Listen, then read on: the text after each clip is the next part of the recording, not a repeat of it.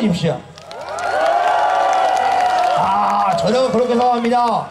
세상에서 우리나라가 더욱더 잘 되기 위해서는 이제 다문화 가족이라는 우리 가족들을 잘 보살펴야 되고 다문화 가족의 가정들이 더욱더 자라나가서 이제 우리나라를 이끄는 훌륭한 사람이 될 거라고 생각드는데 제 말이 맞다고 생각이 드시면 다, 다시 한번 함성 그냥 보내주십시오. 다문화 가족 모두 행복하세요. 모두 사랑합니다. You. 진짜요. 지게도 짜요. 감사합니다. 아, 여러분, 아 그리고 좀 이해를 해주세요. 아 제가 이게 금액이 이제 그 상금이 굉장히 많다 보니까 이제 심사위원들께서 이제 좀 불편하실까봐 최대한 이제 경연할 때는 침새를 많이 안 넣는데 어, 중간 중간에 축하 공연할 때는 그렇게 해도 괜찮겠죠?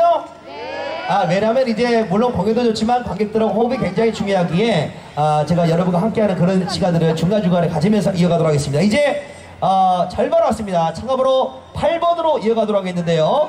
아, 이번에도 인천 부평팀이 준비하고 있습니다. 아, 참가국이 필리핀인데요. 항아리 춤을 또 준비를 하시다고 그러네요. 항아리를 다 하나씩 다 들고 계시는데, 아, 자녀들에게 엄마들도 잘할 수 있다는 것을 꼭 한번 보여주고 싶으시다고 이번 무대를 준비를 하셨다고 합니다. 인천 부평팀의 무대입니다. 참가번호 8번!